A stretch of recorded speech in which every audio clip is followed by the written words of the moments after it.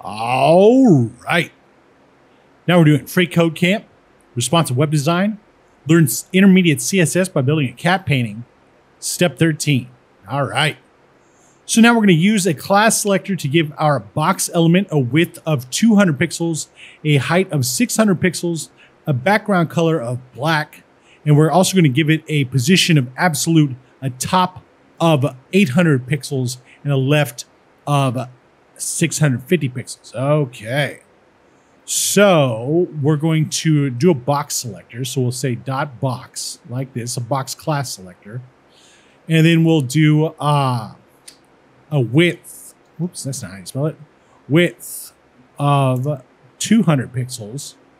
We'll give it a height of 600 pixels. 600 pixels.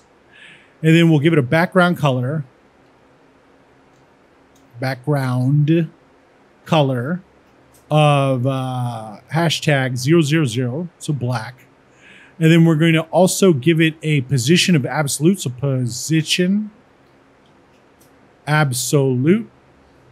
Then a top of 800, whoops, pixels.